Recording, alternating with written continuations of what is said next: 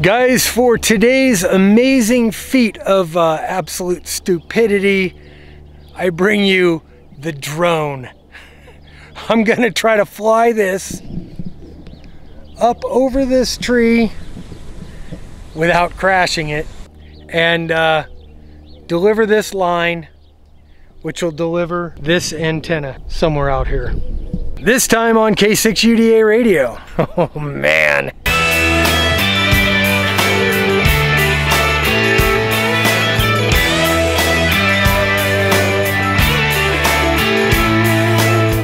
Special drone delivery for K6UDA. Hey, we're gonna put up an antenna today using the drone. I have no idea if this is gonna work or if I'm gonna crash this thing. This could be a fiery ball of hot mess. Either way, it'll be entertaining for you. Let's get busy. So here's my bright idea.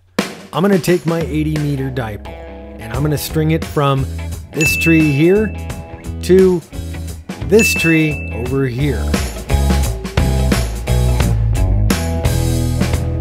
Now, for those of you unfamiliar with how an 80 meter dipole works, it's 130 feet long. It is fed by this uh, balanced line, which becomes part of the antenna. Now, the theory behind this is made by guys much smarter than me a long, long time ago. My low tech, bright idea is to simply use some strapping tape and tape uh, the string to the drone.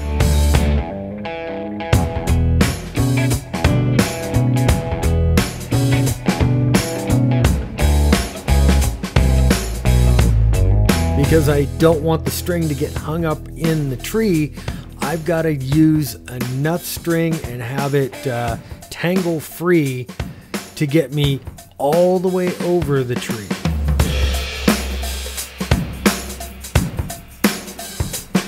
We will see if this is a this is a good idea or not. Here we go.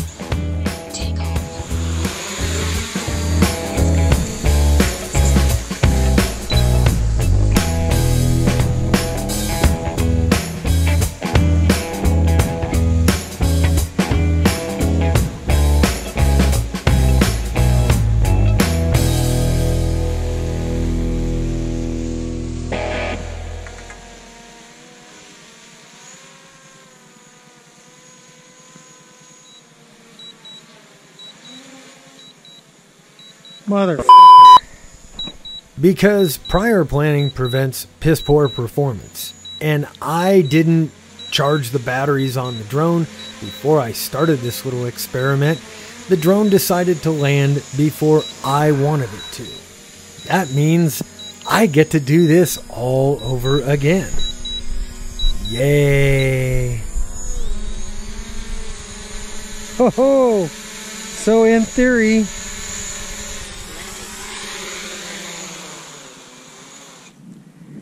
Wow. So in theory, it works.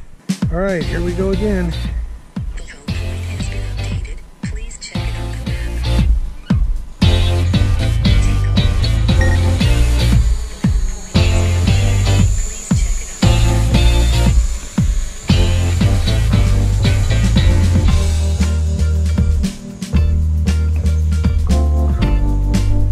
So now I want to come over here so I'm going to watch it land.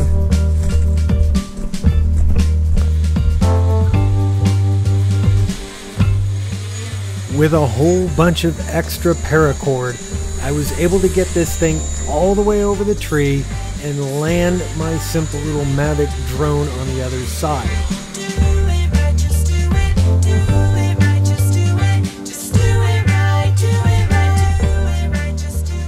Putting up the second leg, here's where things started Uh, to go terribly, terribly wrong. Not good. You see, I had cut off a good portion of the paracord that I had used from leg number one. I was trying to raise this antenna using the actual antenna, and that is not a good idea because it is way too heavy for this drone.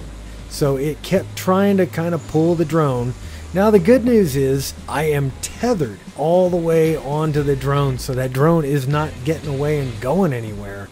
Uh, the worst thing that can happen is it would just crash in a fiery ball of hot mess and uh, mission aborted.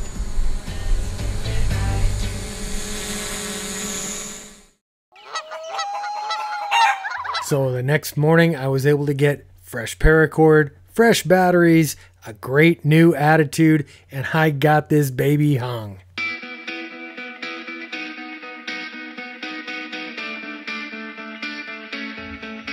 75 feet of uh, ladder line.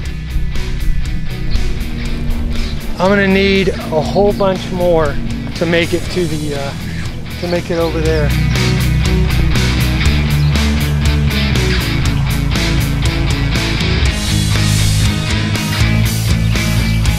Success. I've got an antenna hung in the air, probably 25 feet up. This is a long ass antenna, guys. This is 130 feet of wire up in the air. But it's a no compromise 80 meter antenna. Let's see how it does. All right, and I'm back in the shack with the 7300, the 705. Uh, 7300 currently hooked up to that 80 meter dipole out there because science I had to add all that feed line and I really don't have any idea how much I had to begin with because the antenna went up in the air before I had a chance to measure it. Oh well, bad on me. We call that the scientific wild ass guess. Because 40 meters is not so happy here, uh, it's currently resting on that antenna at about 7 to 1. Well, the internal ICOM tuners won't handle anything much more than a 3 to 1 mismatch. The 7300 wasn't doing so hot on 40 meters. Uh, everything else, it was just cruising along. 40 meters, uh-uh. This last weekend, I was playing on the Idaho QSO party, and I actually used the 705 with the Elecraft amp hooked up to it. So uh, I ran the entire contest on the 705. Right after the contest ended, I remembered, oh, I have another tuner sitting here. So I hooked that up. 7300 is happy now. Now this pissed me off just a little bit. Uh, when you used the repeat button and you've got the ALC line hooked up to the Elecraft amp, uh, the repeat doesn't work. Guys, let me tell you, when you're working pileups, a contest, or SOTA, that can be a big deal. The other thing I really missed in this contest was the ability to be hands free because there's no headset adapter for the 705 yet. So typing over 100 entries was a pain in the ass. So guys, a no compromise dipole antenna is cheap to build. I built this thing out of basically spare parts. Old wire that was in the garage. I bought a strain relief and I bought some 450 ohm ladder line and originally a very short 10 foot piece of coax to terminate that ladder line outside my shack at my old house. One of the speed secrets here is there are some lengths of ladder line you want to avoid. I'm not going to go into all those lengths. You can look them up yourself. The other thing, all that ladder line that's in the air needs to be suspended by something not touching things. If you can possibly keep it from like sitting on your roof or stapled to a building or something like that.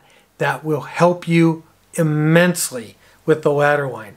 Otherwise, the beauty of having that balanced line out there is I could literally run a thousand feet of it. Damn telemarketers. Look, uh, like I was saying, the beauty of ladder line is you could have a thousand feet of this stuff outside your window or you know in free space. It doesn't have any loss. Coax has loss. For every foot or yard of coax, you're going to have a certain amount of loss. Zero with this. Uh, run as much as you want thousands of feet, it'll carry the whole signal. That's it for our time together this time. Like this video if you do, subscribe if you haven't. Check out the email and uh, my address there if you got something to send me. I will catch you guys later. I'm Bob, K6UDA, and I'm out of here. 7 3.